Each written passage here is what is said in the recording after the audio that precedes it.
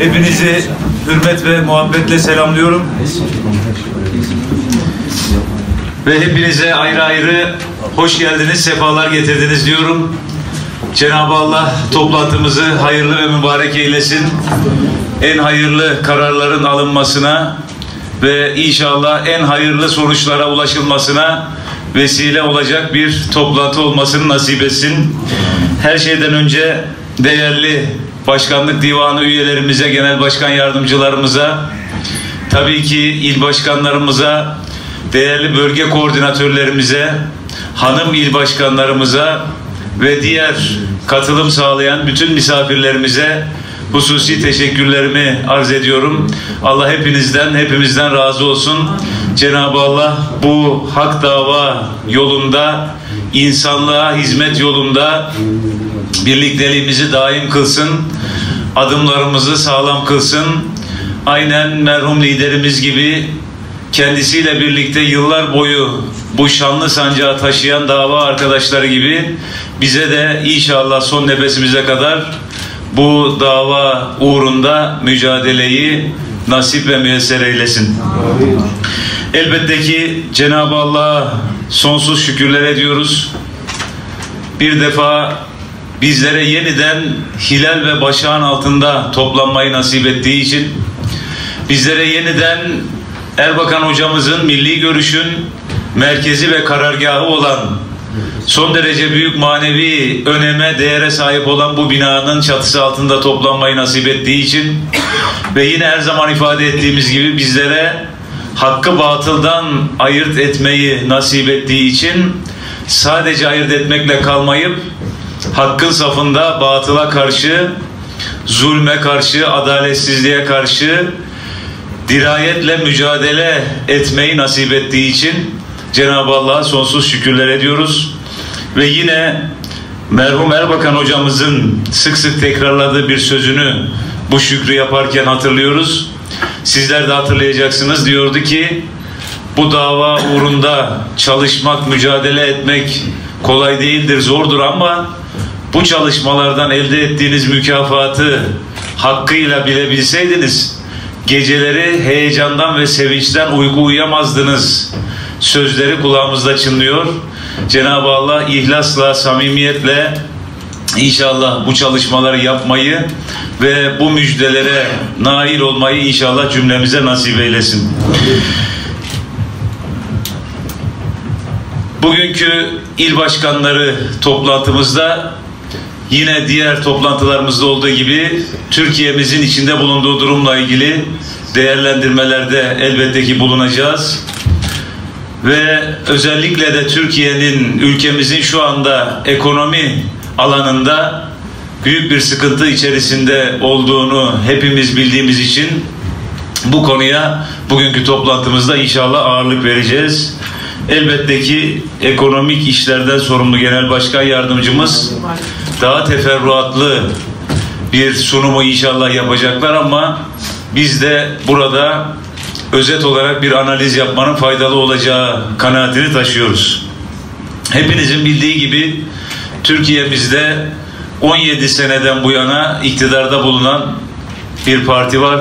AK Parti 17 sene hatta 18. senesine girecek. Türkiye'de hükümetleri kendileri belirlediler ve bu 17 senelik AK Parti iktidarının sonunda geldiğimiz noktada Türkiye'de devlete ait olan kuruluşların sayısı sadece 71 olarak gerçekleşti. 1995'te Türkiye'de kamu işletmelerinin sayısı 278 iken 2000 yılına gelindiğinde 240'a düşüyor. Arkasından AK Parti iktidarları görev yapmaya başlıyor. 240 kamu işletmesini devralıyorlar ve 17 senenin sonunda bunu 71'e düşürüyor. AK Parti iktidarları en fazla devlet kuruluşu satan iktidar olarak tarihe geçti. Cumhuriyet tarihinde bu kadar devlet kuruluşunu satan başka bir iktidar olmamış. 240'tan 71'e düşürmüşler. Tam 170 tane devlet kuruluşunu satmışlar. Burada üzücü olan kısım bunların pek çoğunun aslında haraç mezat tabirine uygun şekilde satılması birincisi. Önemli bir kısmının yabancı sermayeye satılması Üçüncü üzücü husus da buradan gelen paranın maalesef borç faizine giderek yok olması. Örneğin konferanslarımızda çok zamanlar ifade ettik. 40 senelik 50 senelik şeker fabrikalarını sattılar. On binlerce insanın istihdam imkanı elinden gitti. Bunların hepsinden elde ettikleri toplam gelir 1 milyar dolar civarında bir para. Bu hükümetin 10 günde 12 günde faize ödediği paradır. 40 senelik 50 senelik şeker fabrikaları satılıyor. Elde edilen meblağ 2 haftada en fazla borç faizine gidiyor ve yok olup bitiyor, buhar oluyor. 240'dan 71'e düşürmüşler devlet kuruluşlarını. Neler satılmadı ki? Eti Holding, Petkim, Tüpraş, Türk Telekom, Ereğli Demir Çelik, Paşabahçe Cam Sanayi, Sümer Holding, Oyak Bank, Taksan, Tümosan. Burada dikkatinizi çekecek olan husus bunların çok önemli bir kısmının da merhum Erbakan hocamız tarafından ağır sanayi hamlesinde 74 yılında gerçekleştirilen kuruluşlar olması. Milli Görüş Zihniyeti Erbakan hocamız 200 ağır sanayi tesisinin temelini attı. Bunlardan 70'ten fazlasını hizmete soktu. Milli Görüş 200 sanayi tesisinin temelini atıp bu ülkeye kazandırırken AK Parti iktidarı 170 tane devlet kuruluşunu sattı ve yok etti. İşte aradaki fark burada. Sadece bunlar mı? Hayır. Limanlar, sigara fabrikaları, gübre fabrikaları, tuz işletmeleri, şeker fabrikaları, Tarabya Oteli, Bursa Çelik Palas Oteli, Kuşadası Tatil Köyü, termik santraller, elektrik dağıtım şirketleri ve burada daha saymaya zamanımızın yetmeyeceği nice kuruluşlar. Dün Bartın ve Kastamonu il kongrelerimizde de ifade ettiğimiz gibi tuz işletmelerini satmışlar. Şeker fabrikalarını satmışlar. Bundan önce Toprak Mahsulleri Ofisi'nin buğday silolarını da boşalttılar. Dolayısıyla doktorların tavsiyesine harfiyen uyuyorlar. Neden? Üç beyazdan da uzak duruyorlar da onun için. Ne şeker fabrikası kalmış, ne tuz fabrikası kalmış, ne ortada buğday kalmış, un kalmış. Dolayısıyla AK Parti iktidarı devlet kuruluşu satmada şampiyon oldu. Bir diğer şampiyon olduğu noktada doktorların tavsiyesine harfiyen uyma noktası. Elbette ki gülüyoruz. Ancak ağlanacak halimize gülüyoruz. Çünkü bütün bu sürecin sonucunda bizim yıllarca konferanslarımızda ifade ettiğimiz gibi elde avuçta bir şey kalmadı. En sonunda yine çok sık vurguladığımız gibi varlık fonu adı altında yokluk fonunu kurdular. Ve bu yokluk fonu üzerinden de maalesef borçlanmaya devam ediyorlar. Çaykuru satmadım diyor. Çaykuru satmadın ama Çaykur'u garanti gösterip ipotek ettirip bu üzerinden kredi aldın. Peki bu varlık fonu dedikleri yokluk fonundakiler de bittiği zaman ne olacak? Asıl mesele o zaman başlıyor. Allah muhafaza buyursun. Efendim boğazların kontrolünü bize verin derlerse ne diyeceksin? Üzerinizde ceketiniz bile kalmadı hala daha borç istiyorsun, para istiyorsun. E öyleyse şu doğudaki, güneydoğudaki şu illeri falanca devlete ver, falanca ülkeye ver derse. İstanbul'daki patrikhaneye özellik vereceksin derse. Borç alan emir de alır. Bir ülkenin siyasi bekası öncelikle iktisadi, ekonomik, finansal bekasına bağlı. Ekonomik bekanız elden giderse siyasi bekanıza ister istemez elden gider. Osmanlı'nın son döneminde duyun umumi idaresini, kapitülasyonları hepimiz çok iyi biliyoruz. Varlık fonunda elde avuçta kalan son varlıklarda ipotek ettiriyorsunuz ve bugüne kadar olduğu gibi bundan sonra da yine aldığınız bu borçları ödeyemezseniz bu işin sonu felaket olacak. Ekonomik felaketin bir diğer göstergesi de devletin kara gün akçesi olarak saklamış olduğu Türkiye Cumhuriyeti Merkez Bankası'nın ihtiyat akçesine hükümetin Cumhuriyet tarihinde ilk defa göz dikmesi. Cumhuriyet tarihinde ilk defa bu hükümet döneminde Merkez Bankası'nın ihtiyat akçesini kullanmak üzere hükümet tarafından kullanılması üzere yasal düzenleme için düğmeye basıldı. Yani dokunulmaz hesabı olarak adlandırılacak elimizde avucumuzda kalan son para hükümet tarafından kullanılmak isteniyor. Dolayısıyla da ekonomik olarak geldiğimiz noktanın son derece felaket olduğunu gösteren bir diğer önemli gösterge. Şimdi bu noktada şunları rahatlıkla söyleyebiliriz. Tam 17 sene boyunca herhangi bir ilave kaynak üretmedi.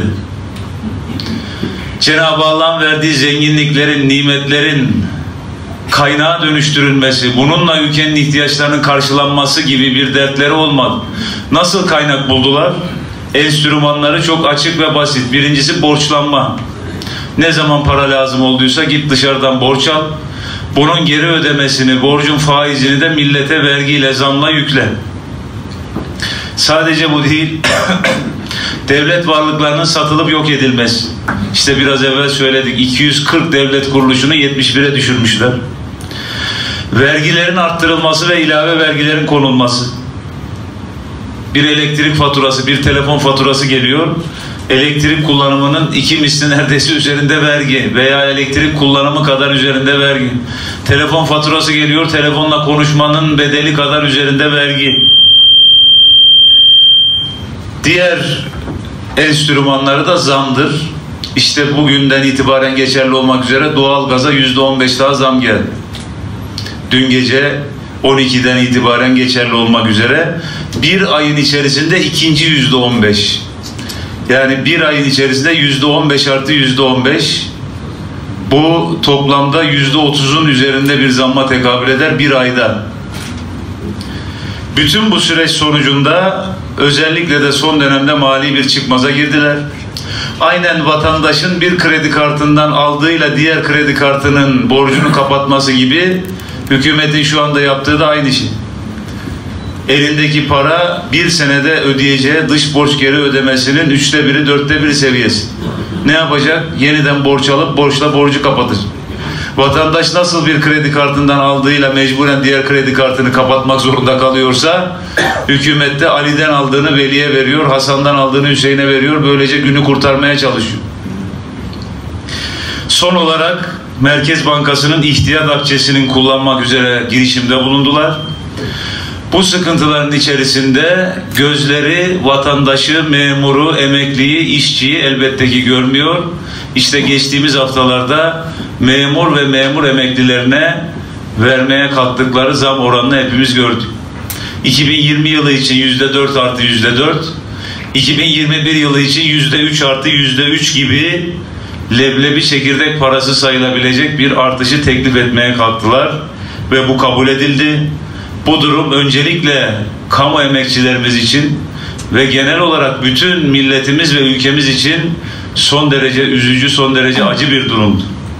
Her türlü lükse, makam araçlarına, protokol masraflarına, protokol seyahatlerine, oturdukları sarayların giderlerine parayı bulan hükümet sıra vatandaşa gelince simit ve çay hesabıyla maaş zammı yapmaya kalkıyor.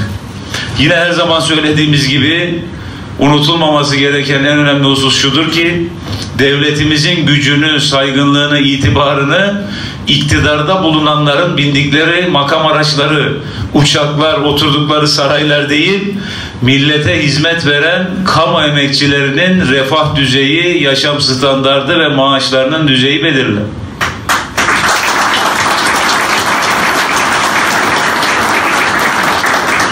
Bir defa ekonomi ve matematiği biraz bilen bir kimse gerçek enflasyonun yüzde otuzu bulduğu bir ülkede böyle bir zammın matematiksel açıdan artış kabul edilemeyeceğini zaten bil. Yüzde otuz enflasyonun olduğu yerde yüzde dört artı yüzde dört maaş zammı yapıyorsun. Bu demektir ki bu da adamın eline geçmeden buhar olacak. Bu matematiksel olarak bir artış değildir. Matematiksel olarak ekonomik anlamda bir artışın olması için en az yüzde otuzun üzerinde bir zam vermen lazım ki bir artış yaptım diyebilesin.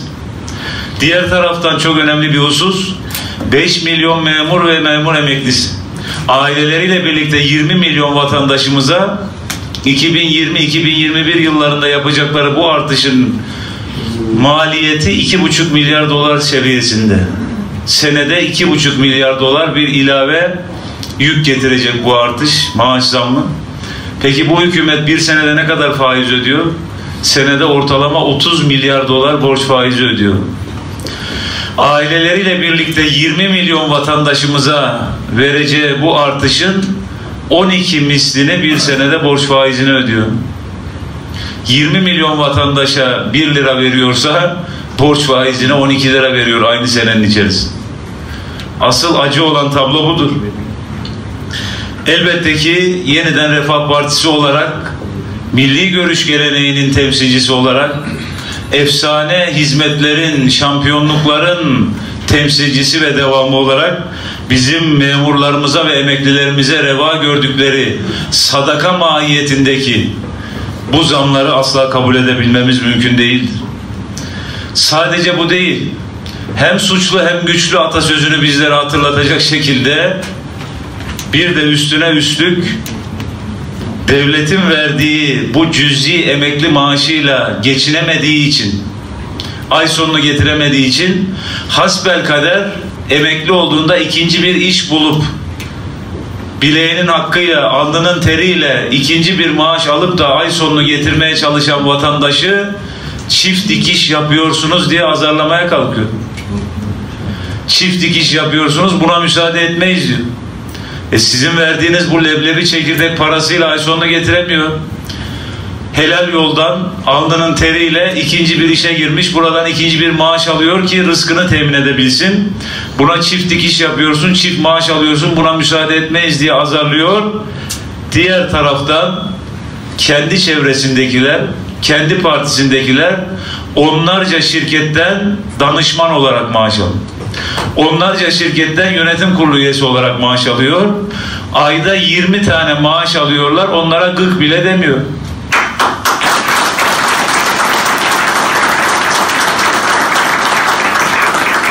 Böyle adalet olur mu? Böyle kalkınma olur mu? Gariban emekli vatandaş iki maaş aldı diye gözüne batacak.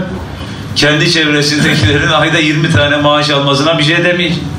Bunu bütün Türkiye biliyor. Çelişkileri sadece bu mu? Hayır. Bir seçim dönemi boyunca, aylar boyunca bu sıradan bir belediye seçimi değildir. Hilalle haçın mücadelesidir diyeceksin. Biz hilal olarak haça karşı, haçlılara karşı mücadele ediyoruz diyeceksin. Seçimden sonra İstanbul'da besmelelerle, tekbirlerle Ortodoks Kilisesi'nin açılışını yapacaksın. Sadece bu mu? Hayır. Bu ne perhiz ne lahana turşusu. Diğer önemli bir husus yine aylarca seçim döneminde muhalefeti PKK ile terörle işbirliği yapmakla suçlayacaksın. CHP'ye CHPKK diye isim takacaksın. Arkasından 23 Haziran'da başını sıkışınca Abdullah Öcalan'ın mektubunu devlet televizyonunda okutacaksın. Ne perhiz ne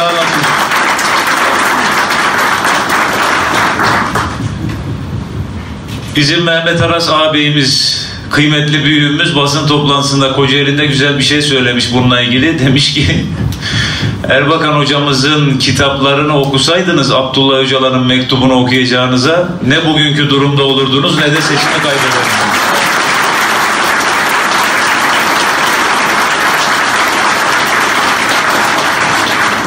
Abdullah Öcalan'ın mektuplarını okuyacakları yerde Erbakan hocamızın kitaplarını okusalardı zaten dediği gibi Mehmet Aras ağabeyimizin bugünkü bulundukları noktada olmazlardı. Amerika'da Washington Post gazetesi PKK'nın yöneticilerinden birisiyle birisinin makalesini yayınlamış. Bizim Dışişleri Bakanımız ve Sayın İbrahim Kalın da çok fena sinirlenmişler. Basına da yansıdı bu. Diyor ki efendim teröre çanak tutuyorlar. Bu bir skandaldır. Washington Post'ta nasıl PKK yöneticisinin makalesi yayınlanır? Ya siz TRT'de devletin televizyonunda Abdullah Öcalan'ın mektubunu okuttunuz. Diğer bir TRT'nin kanalında TRT Kürdi'de bir başka PKK yöneticisine canlı yayına çıkarıp konuşturdun. Biz kendi teröristimizi çıkarıp konuşturursak adam elin Amerikalısı makalesini de yayınlar canlı yayında yapın. Dolayısıyla çelişkiler bitmiyor. Bizler ne diyoruz? Biz diyoruz ki biraz evvel de söylediğimiz gibi göreve gelir gelmez emekçisine en az yüzde yüzden başlamak üzere.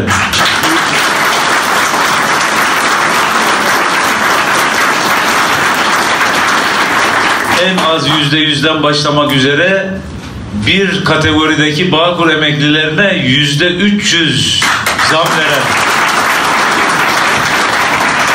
bir anlayışın, bir zihniyetin temsilcisi olarak, yeniden Refah Partisi olarak bizler de inşallah bundan sonraki seçimde iktidar olduğumuz zaman ilk sene memurumuza, işçimize, emeklimize en az yüzde elli zammı mutlaka ama mutlaka vereceğiz Allah'ın izniyle.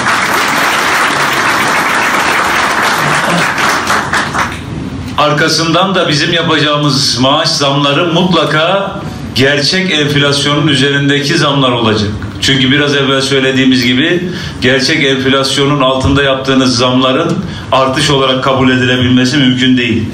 Biz vatandaşımızı enflasyona, hayat pahalılığına inşallah ezdirmeyeceğiz ve biz milletimize vereceğimiz bu kaynağı da borçlanmayla, vergiyle, zamla, devlet kuruluşlarının satılıp yok edilmesiyle değil, Cenab-ı Allah'ın vermiş olduğu nimetleri, zenginlikleri mali kaynağa dönüştürerek oluşturacağımız kaynak paketleriyle karşılayacağız.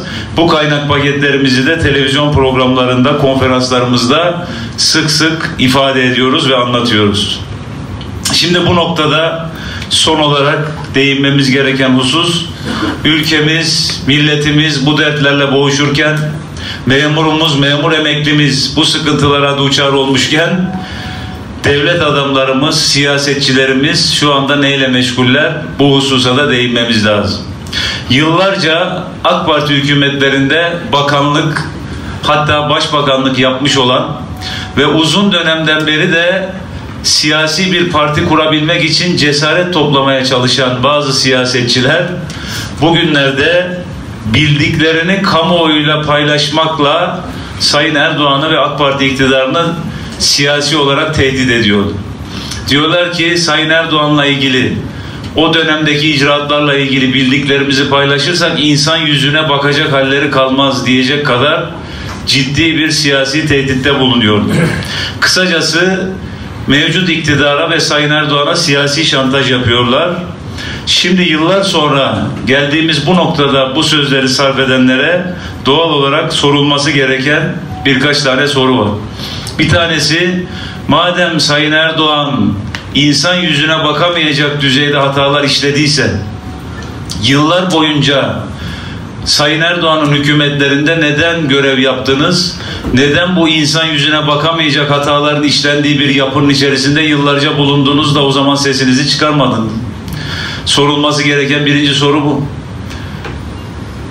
Efendim benim başbakan olacağım zaman bana dediler ki sen hiçbir şeye karışmayacaksın. Her şeye Tayyip Bey karar verecek. Sen sadece oturacaksın dediler. Böyle şey mi olur? Peki bunu başbakan olurken neden söylemediniz? Burası bir hukuk devletidir. Kanunlar var, anayasa var, demokrasi var. Böyle şey mi olur? Başbakanın yetkileri belli, cumhurbaşkanının yetkileri belli. Böyle hukuksuz bir şekilde ben başbakan olmam diyebilirdiniz.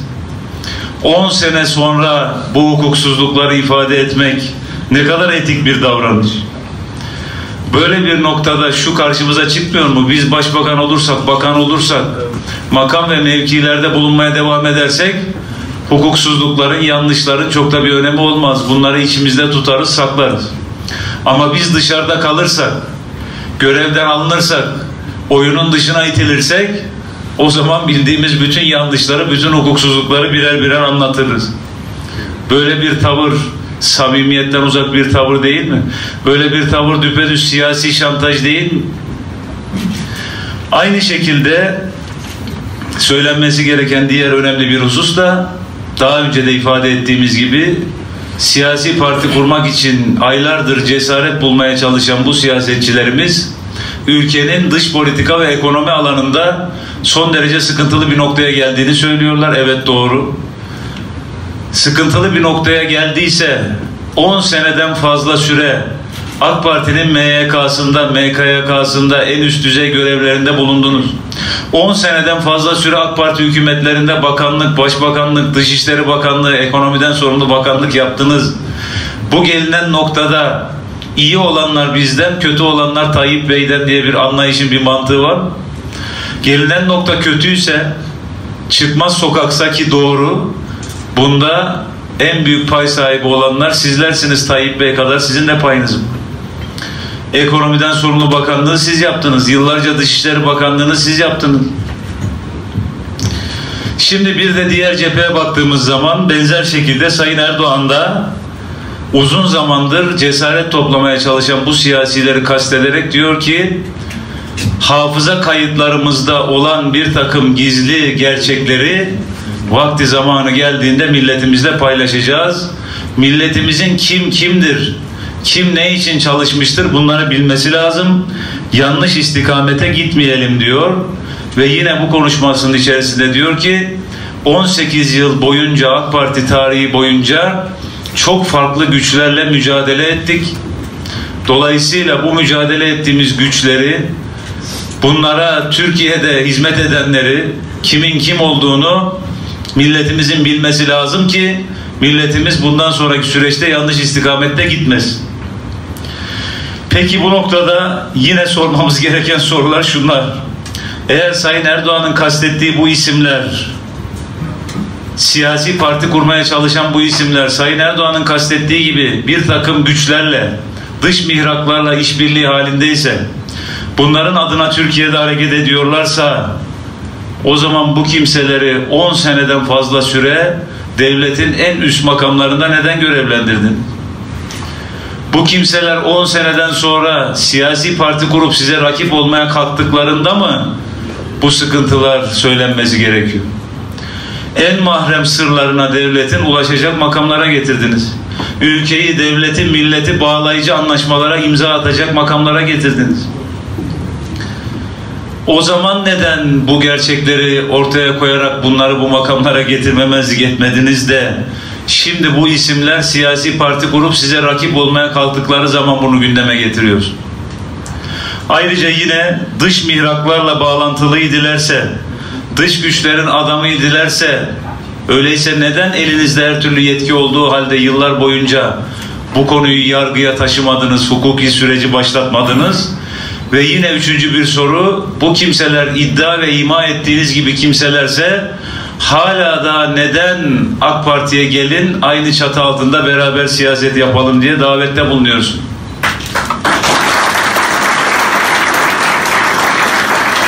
Buradan şöyle bir sonuç çıkmıyor mu? Bir kimse Sayın Erdoğan'a itaat ederse, onun sözünden çıkmazsa, ona karşı bir hareket içerisinde olmazsa yaptığı yanlışların, hukuksuzlukların çok da bir önemi olmaz. Ama uslu durmayıp da Sayın Erdoğan'a AK Parti'ye karşı siyasi rakip olmaya kalkarsa geçmişte yaptıklarının hepsi birer birer ifşa edilir. Böyle bir yaklaşımda ne kadar hukuka uygun, ne kadar etik, ne kadar samimi, böyle bir yaklaşımda aynen karşı cephenin yaklaşımı gibi siyasi şantaj manası taşımıyor mu? Peki böyle bir manzara karşısında biz ne diyoruz? Biz de diyoruz ki demek ki sizin yıllarca dava dava dava dediğiniz bir menfaat birlikteliğiymiş. Bugün geldiğimiz noktada karşılıklı beyanatlarınız bunu apaçık bir şekilde ortaya koyuyor. Demek ki yıllar boyunca sizi bir arada tutan ortak idealler, hedefler, ortak ülküler değil, karşılıklı olarak kirli dosyalarmış.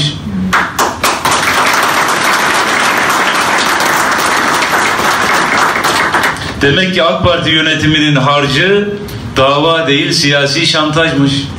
İşte geldiğimiz noktada her iki tarafta kendi ağzıyla bunu ortaya koymuş oluyor. Eğer sen ayrılırsan senin kirli dosyanı ifşa ederim.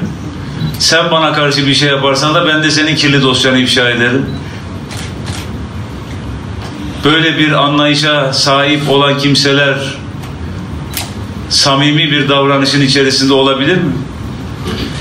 Ne kadar yazık ki milletin derdine çözüm üretmek yerine tabir caizse deyim yerindeyse tencere dibin kara seninki benden kara anlayışıyla birbirlerini tehdit ediyor.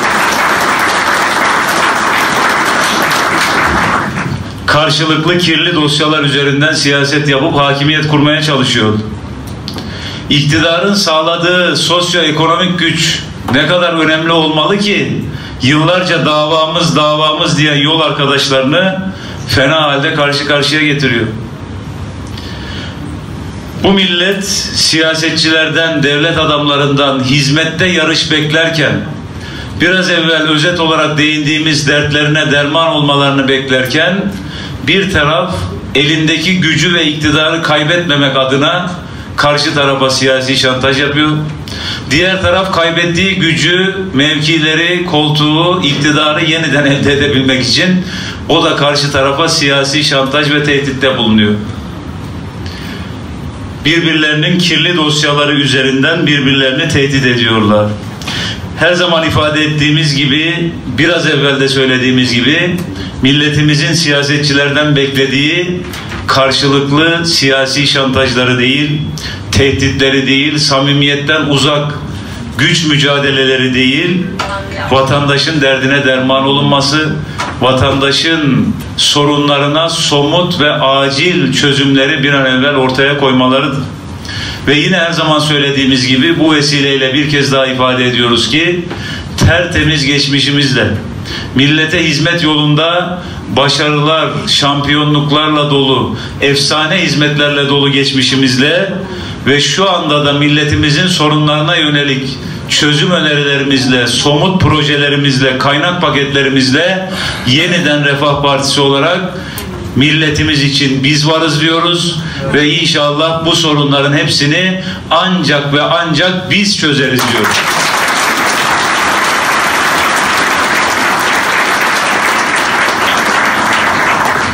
Ve her zaman olduğu gibi milletimizin bu gerçekleri görmesi için bütün siyasetçilerimizin, devlet adamlarımızın da bu yanlışlardan kurtulması için kardeşane bir şekilde uyarı vazifemizi yapıyoruz. İnşallah yeniden Refah Partisi olarak bütün engellemelere rağmen, bütün zorluklara rağmen, bütün hususi medya ambargosuna rağmen aynen Erbakan hocamızın ifadesiyle tırnaklarımızla söküp alacağız. Teker teker birer birer Anadolu'da insanımıza bu gerçekleri anlatacağız ve inşallah hep birlikte hedeflerimize ulaşacağız. İnşallah hep birlikte yaşanabilir bir Türkiye'yi, yeniden büyük Türkiye'yi ve yeniden büyük Türkiye'nin öncülüğünde adil bir dünyayı hep birlikte inşa edeceğiz.